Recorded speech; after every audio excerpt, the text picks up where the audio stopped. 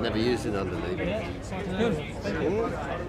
Government stands four square behind the shooting community. It's a vital part of rural life, It provides a huge amount of assistance for conservation, and is good for the countryside.